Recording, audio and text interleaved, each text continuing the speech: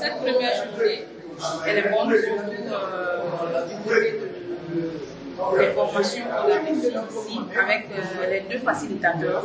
On a bien compris qu'aujourd'hui, on doit être en mesure de se conformer et de se conformiser à l'ère actuelle. Parce qu'il y a beaucoup plus de, médias, il y a beaucoup plus euh, de presse qui se sont installés.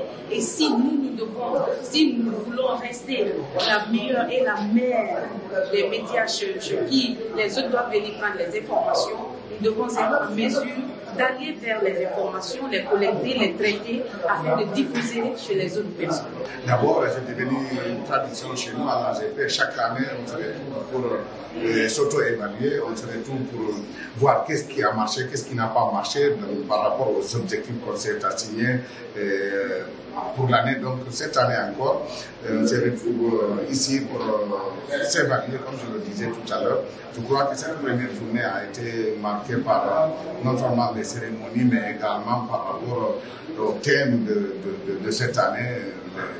Les, les facilitateurs, euh, les organisateurs se sont succédés. Je crois que nous avons vu euh, les différentes règles de rédaction euh, de l'agence. Vous savez, un agence est différent des autres rédactions. Donc, nous, nous avons vu comment rédiger une dépêche à l'AGP pour toute agence.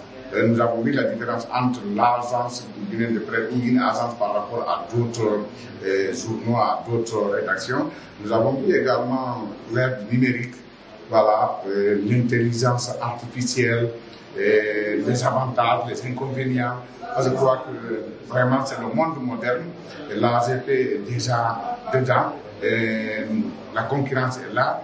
Euh, mais je crois aujourd'hui l'agence de presse a sa place de choix puisque nous sommes des grossistes de l'information et je crois que cette formation, ce que nous échangeons là, va nous aider à aller au-delà de, de nos ambitions.